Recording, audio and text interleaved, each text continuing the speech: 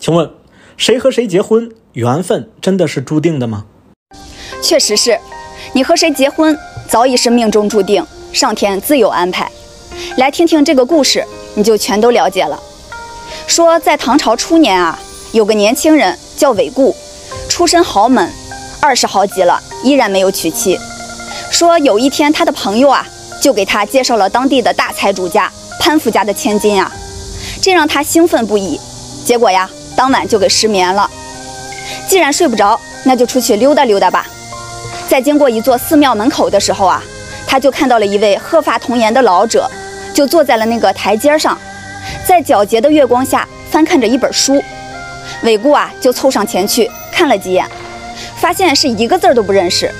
这韦固就觉得有点奇怪，就问老者：“这是什么书呀？我怎么一个字都不认识啊？”老人家微微一笑：“你当然不认得，这可不是人间的书啊，这上面写的是凡界男男女女的名字，是一本姻缘簿。从小孩子一出生，我就把他们的名字呀给记录在了上面。将来谁和谁结婚，这里面呢早已经安排好了，看已经用红绳连在了一起。”韦固一听。急忙问道：“我明天就要去相亲了，你快帮我看一看，这潘家的千金小姐是不是我未来的妻子呢？”老者翻了翻书，抬头说道：“这潘家小姐啊，和你无缘。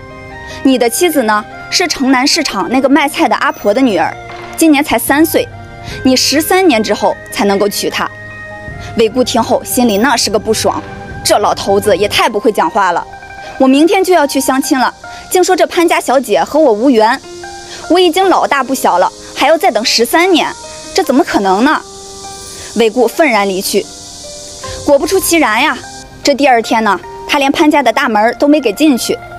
管家站在门口说道：“我家小姐身体不适，改天再说吧。”韦固一听就知道对方在找借口，这门婚事啊，自然也就黄了。这时呢，他忽然想起昨晚那个老者对自己所说的话。就决定去菜市场看个究竟。哎，你猜怎么着？还真有一个卖菜的妇人，旁边站着一个三岁的小女孩。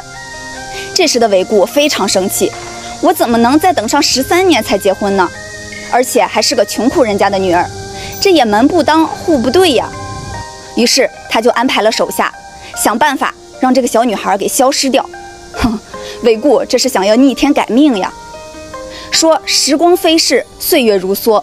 转眼呐，一十三年过去了，韦固是兜兜转转，还是经过了十三年才结婚。洞房花烛夜，他掀开妻子的盖头，妻子是年方二八，美丽动人，就是这眉宇间有一道明显的伤疤呀。韦固觉得好奇，就问妻子：“你这眉宇间是怎么回事啊？”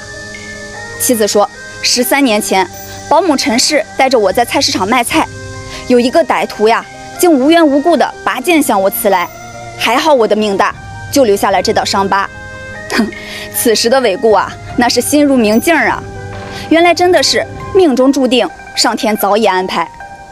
这世间的姻缘呐，是冥冥之中自有定数。前世欠你的人，今世来还你；前世你欠的人，今世折磨你。离开你的人是缘分浅的人，长久陪伴你的人是缘分深的人。你都要坦然的去接受啊。